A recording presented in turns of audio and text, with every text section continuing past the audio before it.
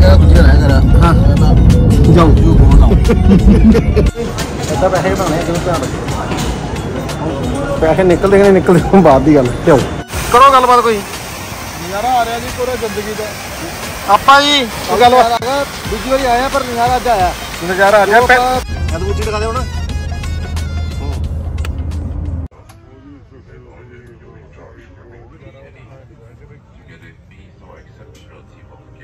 ਇਹ ਹੈ ਜੀ ਫਲਾਈਟ 에ਅਰ ਏਸ਼ੀਆ ਅੰਦਰ ਦਾ ਵਿਊ ਦੇਖ ਲਓ ਤੁਸੀਂ। ਸਕਰੀਨਾਂ ਸਾਰੀਆਂ ਲੱਗੀਆਂ, ਚੱਲਦੀ ਕੋਈ ਨਹੀਂ। ਮੈਨੂ ਦਿਖਾਉਣ ਦੀ ਕੋਸ਼ਿਸ਼ ਕਰਦਾ ਵੀ ਅਸਲ 'ਚ ਇਹ ਜਿਹੜੀ ਫਲਾਈਟ ਹੈ ਨਾ 에ਅਰ ਏਸ਼ੀਆ ਦੀ ਫਲਾਈਟ ਜਿਹਨੇ ਵੀ ਲਈ ਹੈ, ਇਹ ਤੁਹਾਡੀ ਜਿਹੜੀ ਜਿੰਨੇ ਵੀ ਬੁੱਕ ਕੀਤੀ ਹੋਣੀ ਹੈ ਵਿਦਆਊਟ ਮੀਲ ਬੁੱਕ ਹੁੰਦੀ ਹੈ। ਤੇ ਚੀਪ ਫੇਅਰ ਦੇ ਵਿੱਚ। ਤੇ ਕਈ ਤਾਂ ਲੋਕ ਕੀ ਕਰਦੇ ਨੇ ਕਿ ਜਦੋਂ ਫਲਾਈਟ ਬੁੱਕ ਕਰਦੇ ਨੇ, ਉਸੇ ਵੇਲੇ ਉਹ 'ਚ ਆਪਸ਼ਨ ਹੁੰਦਾ ਵੀ ਤੁਸੀਂ ਮੀਲ ਐਡ ਕਰਨੀ ਹੈ ਤਾਂ ਕਰ ਲਓ। ਉਹਦੇ ਵਿੱਚ ਵੀ ਐਡ ਹੋ ਜਾਂਦੀ ਹੈ ਤੇ ਜੇ ਤੁਸੀਂ ਫਲਾਈਟ 'ਚ ਆ ਕੇ ਕੁਝ ਐਡ ਕਰਨਾ ਚਾਹੁੰਦੇ ਹੋ ਆਪਣਾ ਜਿਵੇਂ ਤੁਸੀਂ ਕੁਝ ਵੀ ਆ ਡਰਿੰਕ ਜਿਵੇਂ ਬੀਰਾ ਪੂਰਾ ਹੈਗੀਆਂ ਜਾਂ ਕੁਝ ਵੀ ਆਪਣਾ ਡਰਿੰਕ ਕਾਫੀ ਹਨਾ, ਕੋਈ ਸੌਫਟ ਡਰਿੰਕ ਵਗੈਰਾ ਲੈਣਾ, ਤਾਂ ਉਹ ਤੁਹਾਡਾ ਫਲਾਈਟ ਦੇ ਵਿੱਚ ਆ ਕੇ ਵੀ ਹੋ ਜਾਏਗਾ ਸੋ ਇਹਨਾਂ ਨੇ ਤੁਹਾਡਾ ਇੱਕ ਮੀਲ ਟਾਈਪ ਇੱਕ ਬਣਾ ਰੱਖਿਆ ਕੰਬੀਨੇਸ਼ਨ ਜਾ ਕੀ, ਇੱਕ ਬੀਅਰ ਹੈ ਕੇਨ ਹੈ ਨਾਲ ਤੁਸੀਂ ਜੂਸ ਵੀ ਲੈ ਸਕਦੇ ਹੋ ਤੇ ਸੱਤ ਰਿੰਗਟ ਐਡ ਕਰ ਸਕਦੇ ਹੋ। ਰਿੰਗਟ ਜਿਹੜੀ ਹੈ ਮਲੇਸ਼ੀਆ ਦੀ ਕਰੰਸੀ ਰਿੰਗਟ ਹੈਗੀ ਹੈ ਤੇ ਰਿੰਗਟ 17 18 ਰੁਪਏ ਦਾ ਤੁਹਾਡਾ ਮਤਲਬ ਆਨਲਾਈਨ ਟ੍ਰਾਂਜੈਕਸ਼ਨ ਕਰ ਤੁਸੀਂ ਕਾਰਡ ਤੋਂ ਕਰਦੇ ਹੋ, ਤੁਹਾਨੂੰ ਜਿਹੜੀ ਪਰ ਚਾਰजेस ਪਰ ਰਿੰਗਟ ਤੁਹਾਨੂੰ 17 18 ਰੁਪਏ ਲੱਗਦੇ ਨੇ। ਤੇ ਕਾਰਡ ਤੋਂ ਵੀ ਪੇਮੈਂਟ ਹੋ ਜਾਂਦੀ ਹੈ। ਜੇ ਤੁਸੀਂ ਕਰੰਸੀ ਕਨਵਰਟਨ ਚੇਂਜ ਕਰਾ ਕੇ ਲੈ ਕੇ ਆਏ ਹੋਗੇ ਰਿੰਗਟ ਤਾਂ ਸ਼ਾਇਦ ਤੁਹਾਨੂੰ ਮਹਿੰਗਾ ਪੈ ਜਾਂਦਾ 20 ਰੁਪਏ ਵੀ ਪੈ ਜਾਂਦੀ ਹੈ ਫਿਰ ਰਿੰਗਟ ਉੱਥੇ ਤੁਹਾਨੂੰ ਵੀ ਰਿੰਗਟ ਮਹਿੰਗਾ ਹੋ ਗਿਆ ਤੁਹਾਡੇ ਲਈ। ਕੋਸ਼ਿਸ਼ ਇਹ ਕਰੋ ਕਿ ਜੇ ਫਲਾਈਟ ਦੇ ਵਿੱਚ ਕੋਈ ਪੇਮੈਂਟ ਕਰਨੀ ਆ ਉਹ ਕਾਰਡ ਤੋਂ ਕਰ ਲਓ ਤੁਸੀਂ। ਤੇ ਜ਼ਿਆਦਾ ਟ੍ਰਾਂਜੈਕਸ਼ਨ ਨਾ ਕਰੋ। ਇੱਕ ਟ੍ਰਾਂਜੈਕਸ਼ਨ ਦੇ ਵਿੱਚ ਜਿਵੇਂ ਦੋ ਚਾਰ ਆਰਡਰ ਤੁਸੀਂ ਦੋ ਦੇਣੇ ਆ ਤਾਂ ਕਰ ਲਓ। ਕਿਉਂਕਿ ਪਰ ਟ੍ਰਾਂਜੈਕਸ਼ਨ ਵੀ ਚਾਰजेस ਲੱਗਦੇ ਹੁੰਦੇ ਆ ਕੁਝ ਤੇ ਆ ਜੋ ਵੀ ਹੈਗਾ, ਮਤਲਬ ਤੁਸੀਂ ਇੱਥੋਂ ਕੁਝ ਵੀ ਆਰਡਰ ਕਰੋਗੇ, ਇਹ ਰੇਟ ਆ, ਉਹਦੇ ਸਾਰੇ ਪ੍ਰਾਈਸ ਲਿਸਟ ਹੈਗੀ ਆ। ਪਰ ਕੋਸ਼ਿਸ਼ ਕਰੋ ਵੀ ਜਿਵੇਂ ਇੱਕ ਵਾਰੀ ਆਰਡਰ ਕਰਨਾ ਹੈ ਤਾਂ ਜਿਵੇਂ ਦੋ, ਤਿੰਨ, ਚਾਰ ਵਾਰੀ ਨਾ ਕਰੋ, ਇੱਕੋ ਵਾਰੀ ਤੁਸੀਂ ਆਰਡਰ ਕਰੋ ਜਾਂ ਪੇਮੈਂਟ ਇੱਕ ਵਾਰ ਚ ਕਰੋ। ਅਲੱਗ-ਅਲੱਗ ਪੇਮੈਂਟ ਕਰੋਗੇ ਤਾਂ ਪਰ ਟ੍ਰਾਂਜੈਕਸ਼ਨ ਤੁਹਾਨੂੰ ਚਾਰजेस ਲੱਗ ਤੋਂ ਲੱਗ ਜਾਂਦੇ ਆ। ਜੋ ਵੀ ਹੈ, ਮਤਲਬ ਫਲਾਈਟ ਦੇ ਵਿੱਚ ਤੁਹਾਨੂੰ ਇਹ ਚੀਜ਼ ਮਿਲੇਗੀ। ਸਾਰੀ ਇਹ ਖਾਣ ਨੂੰ ਜੇ ਵੀ ਲੈਣਾ, ਪਾਣੀ ਦੀ ਬੋਤਲ ਜਿਵੇਂ ਹੈਗੀ ਆ 350 ml ਦੀ।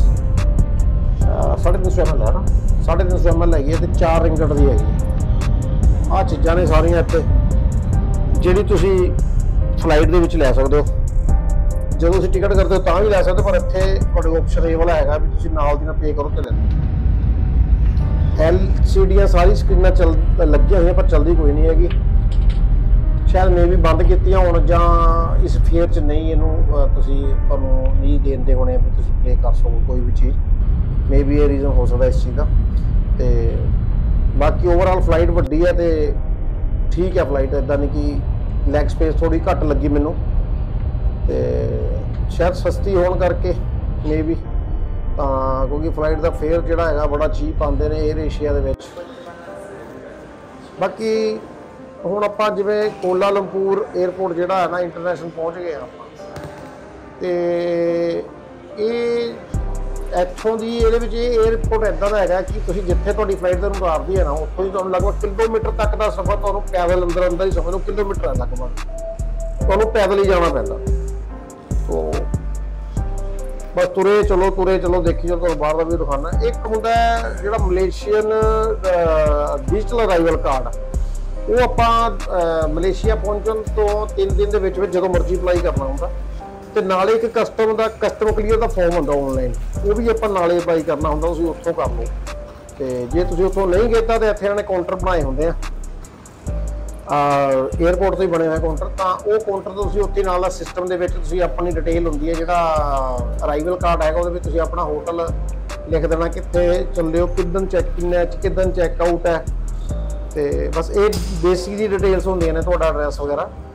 ਤੇ ਕਸਟਮ ਦੀ ਡਿਟੇਲ ਇਹ ਹੁੰਦੀ ਹੈ ਕਿ ਤੁਸੀਂ ਕੀ ਲੈ ਕੇ ਚੱਲੇ ਹੋ ਕਿ 10000 ਡਾਲਰ ਤੋਂ ਯੂਐਸਡੀ ਤੋਂ ਉੱਪਰ ਤੁਹਾਡੇ ਕੋਲ ਤਾਂ ਨਹੀਂ ਹੈ ਕੁਛ ਜਾਂ ਤੁਹਾਡੇ ਕੋਲ ਨਸ਼ੇ ਵਾਲੀ ਚੀਜ਼। ਇਹ ਜਿਹੜਾ ਕਸਟਮ ਦਾ ਫਾਰਮ ਹੁੰਦਾ ਹੈ, ਇਹ ਵੀ ਤੁਸੀਂ ਆਨਲਾਈਨ ਭਰ ਸਕਦੇ ਹੋ। ਤਾਂ ਇਹ ਚੀਜ਼ਾਂ ਕਲੀਅਰ ਕਰ ਲੈਣ ਦਾ ਆਪਣਾ ਫਾਇਦਾ ਇਹ ਹੁੰਦਾ ਕਿ ਫਿਰ ਤੁਹਾਨੂੰ ਉੱਥੇ ਜ਼ਿਆਦਾ ਤੁਹਾਡਾ ਟਾਈਮ ਵੇਸਟ ਨਹੀਂ ਹੁੰਦਾ।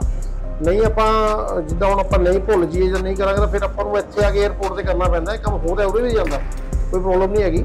ਕਸਟਮ ਵਾਲੇ ਤੁਹਾਨੂੰ ਇੱਕ ਬਾਰਕੋਡ ਜਨਰੇਟ ਕਰ ਦਿੰਦੇ ਆ ਜੋ ਤੁਸੀਂ ਕਸਟਮ ਦਾ ਫਾਰਮ ਭਰੋਗੇ। ਤੇ ਉਹ ਕਸਟਮਰ ਫਾਰਮ ਭਰਨ ਬਾਅਦ ਬਾਰਕੋਡ ਜਨਰੇਟ ਹੋ ਜਾਏਗਾ, ਉਹ ਜੇ, ਤੁਸੀਂ ਉੱਥੇ ਕਸਟਮ ਕਲੀਅਰ ਬਿਲ ਦਿਖਾਉਣਾ ਤੇ ਜਿਹੜਾ ਮਲੇਸ਼ੀਆ ਡਿਜੀਟਲ ਰਾਈਵਲ ਕਾਰਡ ਹੈਗਾ, ਉਹ ਤੁਹਾਡਾ ਇੱਕ ਤਰ੍ਹਾਂ ਦੀ ਪ੍ਰੀ ਰਾਈਵਲ ਹੁੰਦੀ ਜਿਵੇਂ ਹਾਂਗਕਾਂਗ ਜਾਣ ਲਈ ਪ੍ਰੀ ਰਾਈਵਲ ਮਿਲਦੀ ਹੈ ਨਾ, ਉਹ ਆਪਸ਼ਨ ਸੇਮ ਚੀਜ਼ ਹੀ ਹੁੰਦੀ ਹੈ ਇੱਕ ਤਰ੍ਹਾਂ ਦੀ।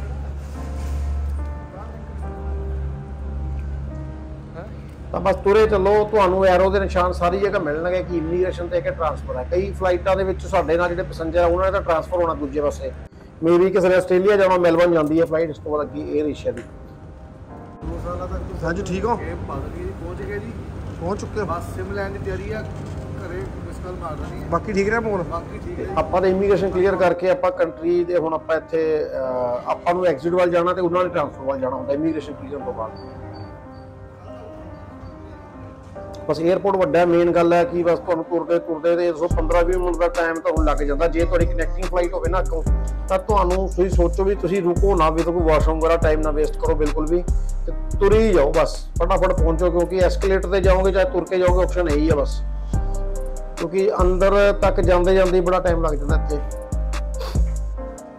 کولہ لوم پور ملیشیا کا ایئرپورٹ ہے یہ ਹਾਂਗਕਾਂਗ ਦੇ ਵਿੱਚ ਤਾਂ ਤੁਸੀਂ ਜਿੱਥੇ ਤੁਹਾਡੀ ਫਲਾਈਟ ਉਤਾਰਦੀ ਹੈ ਨਾ, ਤੁਹਾਨੂੰ ਉਤੋਂ ਟ੍ਰੇਨ ਤੋਂ ਅੱਗੇ ਮੈਟਰੋ ਚੱਲਦੀ ਹੈ ਅੰਦਰ 에ਅਰਪੋਰਟ ਦੇ ਅੰਦਰ ਹੀ। ਤੁਹਾਨੂੰ ਮੈਟਰੋ ਤੇ ਆਉਣਾ ਪੈਂਦਾ, ਇੰਨਾ ਦੂਰ ਹੈ ਅੰਦਰ, ਬਹੁਤ ਵੱਡਾ 에ਅਰਪੋਰਟ ਆ ਉਹ ਵੀ, ਹਾਂਗਕਾਂਗ ਦਾ। ਇਹ ਵੀ ਘੱਟ ਨਹੀਂ ਹੈ, ਤੋਂ ਇਹਦੇ ਵਿੱਚ ਤੁਹਾਨੂੰ ਤੁਰ ਕੇ ਆਉਣਾ ਪੈਂਦਾ, ਬਸ ਇਹ ਦਿੱਕਤ ਹੈ ਥੋੜੀ ਕੋਈ ਬਜ਼ੁਰਗ ਬੰਦਾ ਹੋ ਜਾ, ਜਿਹਦੇ ਕੋਈ ਮਾੜੀ ਮੋਟੀ ਪ੍ਰੋਬਲਮ ਹੋਏ, ਉਹਨੂੰ ਥੋੜੀ ਔਖੀ ਹੋ ਸਕਦੀ ਹੈ ਤੁਰਨ ਦੀ ਨਾ, ਕਿਉਂਕਿ ਕਾਫੀ ਵਾਟ ਹੈਗੀ ਹੈ ਤੁਰਨੀ। ਜਿਹੜੀ ਮੈਂ ਤੁਹਾਨੂੰ ਗੱਲ ਕਰ ਰਿਹਾ ਸੀਗਾ ਵੀ ਜਿਹੜਾ ਅਰਾਈਵਲ ਕਾਰਡ ਹੈ ਆ ਦੇਖੋ ਸਿਸਟਮ ਜਿਹੜਾ ਲੱਗਾ ਨਾ, ਇਹ ਹੈ MDAC Malaysia digital arrival card ਇਹ ਇੱਥੇ ਤੁਹਾਡਾ ਕਾਊਂਟਰ ਇੱਕ ਤਰ੍ਹਾਂ ਸਿਸਟਮ ਲਾ ਰੱਖਿਆ। ਤੁਸੀਂ ਭਰ ਕੇ ਪ੍ਰਿੰਟ ਆਊਟ ਇੱਥੋਂ ਵੀ ਕੱਢ ਸਕਦੇ ਹੋ। ਤਾਂ ਜਿਨ੍ਹਾਂ ਕੋਲ ਹੈਗਾ, ਤਕਰੀਬਨ ਸਾਰਿਆਂ ਕੋਲ ਹੈਗਾ, ਨਹੀਂ ਹੈ ਤਾਂ ਤੁਸੀਂ ਇੱਥੇ ਕਰ ਲਓਗੇ ਨਾ। ਤਾਂ ਐਦਾਂ ਦਾ ਹੀ ਕਾਊਂਟਰ ਮੈਂ ਤੁਹਾਨੂੰ ਦਿਖਾਣਾ ਅੱਗੇ ਇੱਕ ਇੱਕ ਕਾਊਂਟਰ ਹੋਰ ਹੈ, ਜਿਹਦੇ ਵਿੱਚ ਤੁਸੀਂ ਕਸਟਮ ਦਾ ਵੀ ਉੱਥੇ ਲੱਗਿਆ ਹੁੰਦਾ। ਉੱਥੇ ਵੀ ਤੁਸੀਂ ਭਰ ਸਕਦੇ ਹੋ ਕਸਟਮ ਦਾ। ਜਿਵੇਂ ਹੁਣ ਵੀਜ਼ਾ ਫ੍ਰੀ ਕਰਤਾ ਮਲੇਸ਼ੀਆ ਨੇ, ਉਸ ਕਰਕੇ ਨਾ ਰਸ਼ ਜ਼ਿਆਦਾ ਹੈ। ਹਰੇਕ ਬੰਦਾ ਟਰੈਵਲ ਹਿਸਟਰੀ ਦੇ ਚੱਕਰਾਂ 'ਚ, ਕਿਉਂਕਿ ਅੱਜ ਕਿਸੇ ਕੋਲ ਆਪਾਂ ਵੀਜ਼ਾ ਅਪਲਾਈ ਕਰਨਾ ਹੋਵੇ ਨਾ, ਤੇ ਬੰਦਾ ਪੁੱਛਦਾ ਟਰੈਵਲ ਹਿਸਟਰੀ ਹੈਗੀ ਆ। ਉਹ ਟਰੈਵਲ ਹਿਸਟਰੀ ਲਈ ਮਲੇਸ਼ੀਆ, ਜਿਵੇਂ 에ਅਰ ਏਸ਼ੀਆ ਦੀ ਫਲਾਈਟ ਕਰ ਲਓ, ਮਲੇਸ਼ੀਆ ਜੋ ਵੀਜ਼ਾ ਫ੍ਰੀ ਹੈਗਾ ਤੁਹਾਡਾ ਖਰਚਾ ਕਾਫੀ ਬਚ ਜਾਂਦਾ। ਚਾਹੇ ਬਾਰਕੋਡ ਤੁਸੀਂ ਖਿੱਚ ਕੇ ਰੱਖ ਲਓ, ਇਹ ਐਮਡੀ ਏਸੀ ਵਾਲਾ ਹੀ ਹੈਗਾ ਸੇਮ ਚੀਜ਼ ਹੈਗੀ ਹੈ ਇੱਥੋਂ ਵੀ ਹੋ ਜਾਏਗਾ, ਤੁਹਾਡਾ ਕਸਟਮਰ ਦਾ ਵੀ ਹੋ ਜਾਏਗਾ। ਸਾਰੇ ਐਡਵਾਂਸ ਟਾਈਮ ਹੋ ਚੁੱਕਾ ਹੁਣ ਤਾਂ ਵੀ ਇਹ ਨਹੀਂ ਗੱਲਾਂ। ਏਟੀਐਮ ਦਾ ਤੁਹਾਨੂੰ ਦਿਖਾਣਾ ਪੈਸੇ ਕਿੱਦਾਂ ਕਢਵਾਈ ਦੇ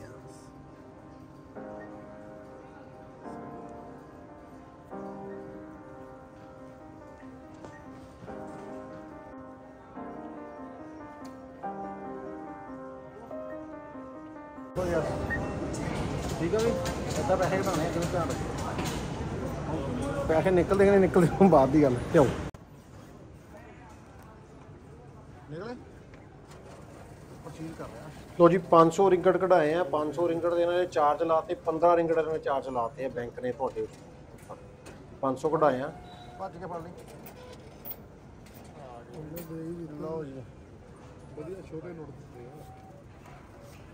ਸੱਚੀ ਵੀ ਗੱਲ ਤੂੰ ਕਿਹੜਾ ਕਰ ਲਾਇਆ ਤੂੰ? ਉਹੀ ਜਿਹੜਾ ਨੀਓ ਦਾ। ਅੱਛਾ ਉਹ ਲਾਇਆ ਤੁਸੀਂ ਚਲੋ ਠੀਕ ਹੈ ਬਾਈ। ਠੀਕ ਹੈ? ਪੇਪਰ ਦੇਖੇ। ਪੇਪਰ ਦੇਖੇ ਸਾਰੇ। ਮੇਰੀ ਪੁੱਛ ਦੇਖਾਂ ਚਲੇ ਜਾਓ। ਸਨੀ ਇੱਕ ਕਹਿੰਦਾ ਵਾਰ ਐਂ ਕਰਾ ਦੂਜੀ ਵਾਰ ਐਂ ਕਰਾ। ਹਾਂ। ਕਹਿੰਦਾ ਜਾਓ। ਯੂ ਗੋ ਨਾਓ ਉਹਨੂੰ ਜੱਗੂ ਨੂੰ ਖੜਾ ਰੱਖਿਆ ਜੱਗੂ? ਮੈਨੂੰ ਤਾਂ ਉਹ ਪੁੱਛ ਰਹੇ ਸੀਗੇ ਸਿਰਫ। ਕੈਨੇਡਾ ਕਦੋਂ ਨਹੀਂ ਗਿਆ ਤੂੰ?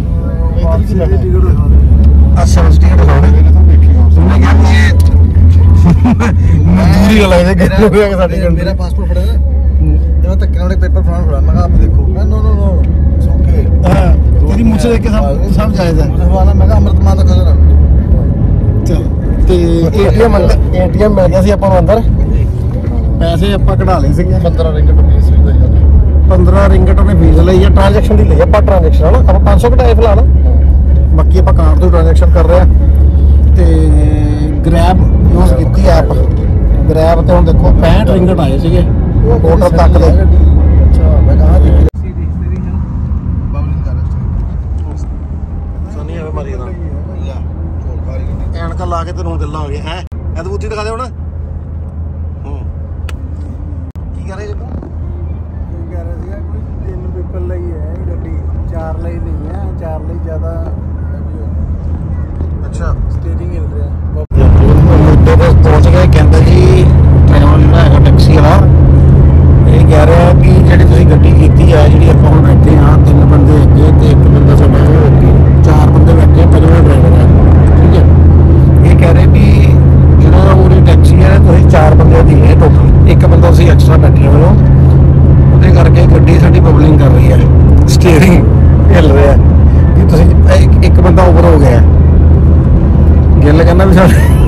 ਚੱਲੇ ਇਹ ਤੇ ਵੀ ਤੁਸੀਂ 12 13 ਬੰਦੇ ਲੱਦ ਕੇ ਦਿਖਾਓਗੇ ਤੇ ਤੇਰੀ ਗੱਲ ਕਹਿੰਦਾ ਗੱਲ ਕਰੀ ਹੈ ਜੀ?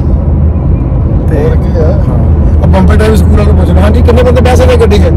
ਇਹ ਤਾਂ ਕਹੇ ਤਿੰਨ ਲਾਊਡ ਹੈ ਪਰ ਆਪਾਂ ਧੱਕਾ ਕਰਤਾ ਹੁਣ। ਇਹ ਆਪਾਂ ਇੰਡੀਆ ਕਿੰਨੇ ਭਾਵਾਂਗੇ ਇੰਡੀਆ ਦੇ ਸੱਤ ਅੱਠ ਚੱਲਣਗੇ ਜੀ। ਸੱਤ ਨੂੰ ਨਹੀਂ ਹੈ। ਹਾਂ ਡਰਾਈਵਿੰਗ ਸਕੂਲ ਹੈ। ਸਰਵਿਸ ਹੈ ਪਿੰਗਲਾ ਵਾਲੇ ਨੂੰ